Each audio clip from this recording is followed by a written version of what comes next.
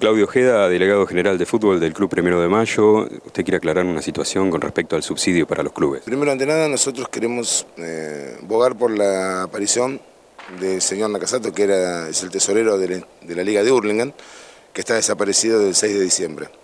Esta persona tenía el dinero para la compra de trofeos de más de 1.600 chicos de toda la Liga de Hurlingham, que son 16 instituciones, y eh, bueno, a partir de, que, de la desaparición de él, todos los clubes tuvimos que poner los últimos recursos que teníamos para la compra de, dichos trofeos. Nosotros tuvimos la suerte de que a través del concejal Zabaleta, a través de APL, que es el gremio mm, del personal de la legislatura, nos dieron un subsidio de 4 mil pesos, que eso eh, nos sirvió como para cubrir una parte de los gastos que tuvimos, si bien no todos, pero sí nos ayudó a recuperarnos de la situación financiera que estábamos viviendo. Por la sencilla razón de que era algo que no lo esperábamos y en, tan corto tiempo, porque nosotros el día 13, esta señora fue a solicitar a ver si se le ayudaba y el día viernes eh, ya teníamos prácticamente una respuesta y el día sábado, bueno, eh, el concejal Zabaleta fue quien nos dio la primicia de que sí, que se nos iba a entregar el subsidio. ¿Y por parte del municipio? No, el parte del municipio se gestionó, pero bueno, eso lo está gestionando también la liga. Eso ya yo no sabría qué decirte. Yo sí te puedo hablar de lo que se nos dio y de lo que se hizo.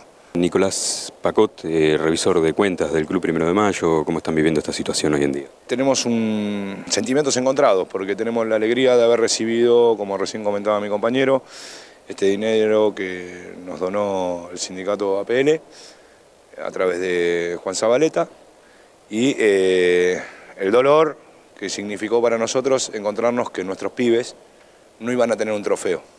A lo cual hemos tenido reuniones con la gente de la liga.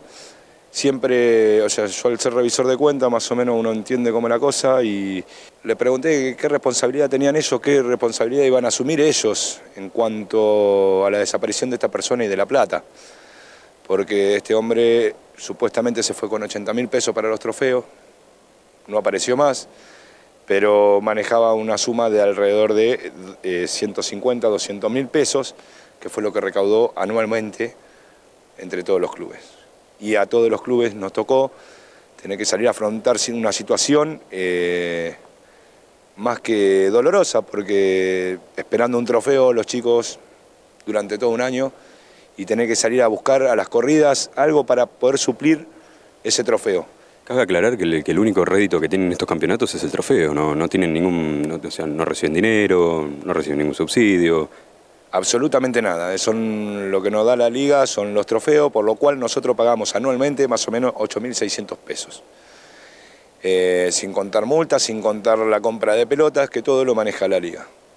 Y estos buenos señores de la liga responden que bueno, que el hombre se fue, que desapareció, que no está, que ellos no tienen nada que ver y no puede ser que nadie haya tenido un control sobre lo que era la plata, solamente este dicho tesorero que desaparece.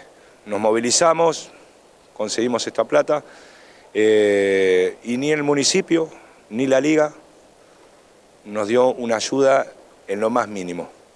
Fue todo a pulmón, con los papás, los técnicos, los delegados y con la plata que nos dio eh, Zabaleta. Imagínate que estas instituciones son barriales eh, muchas veces eh, ni siquiera socio tienen, o sea, son muy pocos los socios que tienen, que pueden tener una cuota al día. O sea, esto se sustenta nada más que con la colaboración de los vecinos y de los padres. Y que nuestros chicos, por lo cual nosotros estamos luchando para que no estén en la calle, para que se sientan contenidos, y lo único que esperaron durante un año es un trofeo, y esta gente ninguna se hace responsable, eh, para mí no tendrían ni siquiera derecho a aparecer más en ningún lado. Se tendrían que dar un paso al costado y permitir a gente que realmente quisiera hacer bien las cosas. Eduardo Alegre, delegado general del Club Quinta de los Pibes, acá cerca de Primero de Mayo, de acá de Burlingame. ¿Cómo, cómo están viviendo ustedes la situación? ¿Cómo, cómo le están pasando los chicos? Realmente nosotros, eh, con toda la gente del club, pudimos hacer la fiesta de los chicos.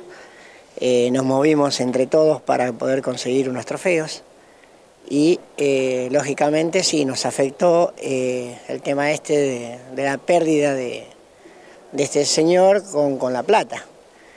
Pero bueno, eh, acá hay una comisión que se tiene que hacer responsable de la persona porque estaba con ellos.